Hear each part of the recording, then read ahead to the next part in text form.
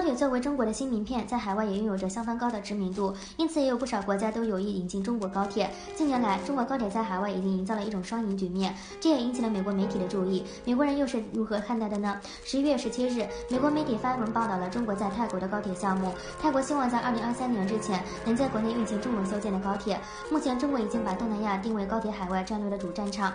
除了泰国、印度尼西亚、马来西亚和新加坡等国都有计划引进中国高铁。可以说，中国高铁的快速发展正在带动周边国家掀起高铁热，而中国周边高铁热的到来也不是没有道理的。此前，泰国官方表示，泰国建造高铁很大程度上也是为中国人民服务，因为泰国一直作为中国游客旅游观光的一个常选之地。截至今年十月份，泰国今年接待的中国游客高达九百二十万人次，并且很快就会突破千万。而如此多的中国游客带来的便是强大的消费能力。由此我们可以看到，中国高铁对泰国带来的不仅仅是交通设施的改善，更带来一笔隐形巨大财富。中国高铁在泰国形成了一种良性循环，因此泰国才会把本国的高铁项目放心的交给中国。